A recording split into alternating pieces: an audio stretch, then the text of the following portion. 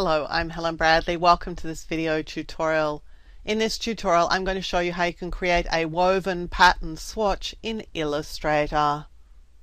In this video tutorial I'm going to show you how you can create a pattern like the one I have here which is a sort of woven pattern where it looks like the elements are going under and over each other and you're going to learn to create the pattern not only as a vertical pattern like this but also how to create it as a rotated pattern. And that's really easy. Once you've created the pattern it rotates very simply.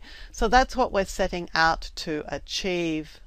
I'm starting with a brand new document and mine's 1000 points by 1000 points but yours can be any size that you like. I'm going to turn off the stroke and I'm going to select a fill color and I'm going to use this color here for the actual weave and the color next to it for the highlighting or the shadow. So I'm going to click on the rectangle tool and I'm just going to click in my document because I want to create a fixed size rectangle and I suggest that you keep to these sorts of proportions. So I'm choosing a height of 50 points and a width of 425 points. So I'm going to click OK. And now I want to move and copy this. So with it still selected, I'm going to choose Object, Transform, Move. And I want to move this in a vertical direction. I want to move it 200 points, which is four times what the width of the shape was. And I'm going to move it 90 degrees. Well, that's the vertical direction. I'm just going to click Copy and this gives me two resulting shapes and the spacing for them is exactly what I need it to be. Now I'm going to reselect both shapes this time and choose Object Transform and this time I'm going to rotate them. So I'll click Rotate and I want to rotate them through 90 degrees so this is exactly what I want. I just want to click Copy so that they're copied into the position and there is the basis of my pattern. The next thing I need to do is to create the shading. And to do that, I'm just going to draw a line. I'm going to click in my document because I want my line to be a certain length.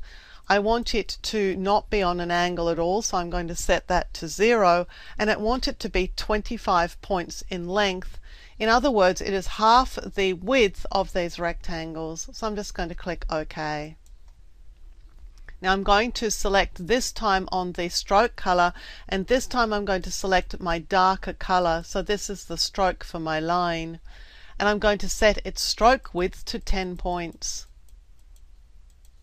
That is one fifth of the width of my line.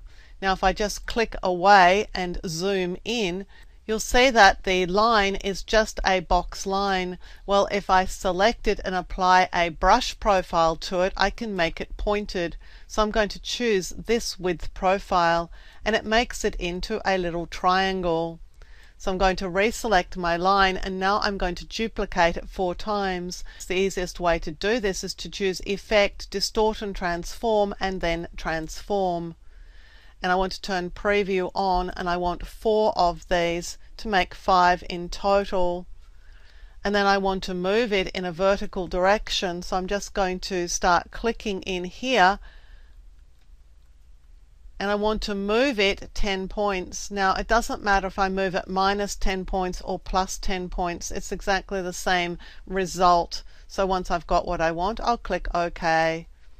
And now I'm going to expand this with object expand appearance and then I'm going to group it with object group because I want it to travel as a group. Now let's press Ctrl 0 to zoom back out to see the whole of our document. I'm just going to come in here and place this shading in position. So this is going to be one of the areas where this line goes underneath this one. So I'm going to reselect my shape and choose Object Transform and this time I want to reflect it and I want to reflect it in a vertical direction but I want a copy so I'm going to click Copy and now I can just move this over and line it up in position over here and I've got my guides on and so it's snapping into position. Let's just zoom in a little bit to make sure that that snap is working correctly. Because it's a group, I can just grab one of the triangles and they'll move together. So now let's select both of these and I want to make a copy of them. So I'm going to choose edit copy and then edit paste in place. And now I'm going to just drag on the copied shapes and move them into position. So now I've got two out of my four shadings done. Going to reselect both of these and I'm going to choose edit copy again and edit paste in place.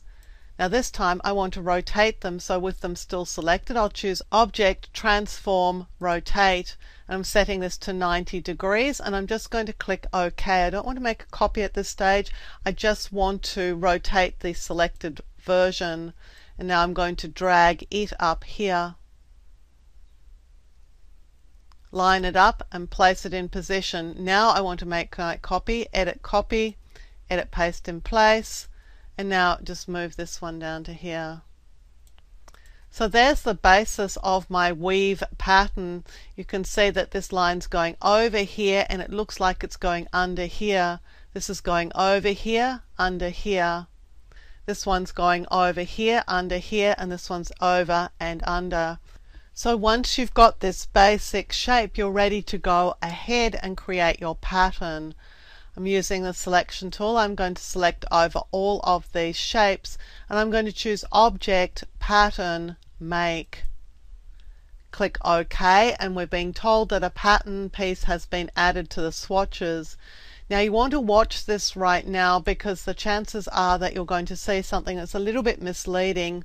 It can look as if this shape has already been created for you and that the pattern's perfect. In fact, it's not correct. I'm going to set my width to 400 and my height to 400 and that is the correct pattern. The pattern dimensions, if you set up the shapes that I suggested with those sizes, then the pattern size is going to be 400 by 400 and then we'll just click done. The pattern's now created so we don't technically need this swatch any longer. I'm going to keep it just in case I want to use it. For example, I may want to make the vertical pieces a different color and the horizontal pieces a different color and I would need those pieces and it's just a whole lot easier to reuse what I've already created but I'm going to tuck it to one side because I don't want it for these purposes. I'm now going to create a rectangle that is the size of the artboard. I could do that with the rectangle tool, but I have a script that does that for me. If you're interested in learning about scripting in Illustrator, have a look for my video on Illustrator scripts. And this is just a script I downloaded from the web and I'm using. So I've selected my path that I've just created and now I'm going to fill it, make sure that the fill is selected here and fill it with my new pattern. Now this is very large, so let's scale it. I'm going to choose Object, Transform, Scale. Now I don't want to scale my object, so I'm going to deselect Object and I just want to transform my pattern and I want to transform it to quite a much smaller size. So I'm just holding Shift as I'm arrowing down here to reduce the size of my pattern and let's take it to 40% and click OK. So there is my pattern at 40%. Now, if you want to, you can also make it rotated, and that will allow you to create a different and slightly more interesting effect, perhaps, from this pattern. So again, with my rectangle selected, this time let's choose Object, Transform, Rotate and this time we want to rotate our pattern 45 degrees and we don't want to transform the object we just want to transform the pattern. So when I press the tab key you'll see that the pattern has now been rotated. So it's got the look of a woven fence perhaps or a woven basket and I'll just click OK. Now if you're at all concerned about the look of the pattern you can just go in here, zoom in, and just check to make sure it's looking okay. Wherever you see that there's something that's a little bit rough, the chances are that that's just your monitor and not the pattern itself. So zoom right in to make sure that what you're seeing is a real problem with the pattern. So I'm seeing something out of alignment here. Well, it doesn't exist. It's not out of alignment. It's just the way the monitor is rendering the pattern. The pattern itself is just fine. So there's how to create an interesting woven style pattern in Illustrator. I'm Helen Bradley. Thank you for joining me for this video tutorial. Look out for more of my video tutorials here on my YouTube channel and consider subscribing to my channel and you'll be alerted when new videos are released. And visit my website at projectwoman.com where you'll find more tips, tricks and tutorials on a range of applications including Photoshop, Lightroom, Illustrator and a whole lot more.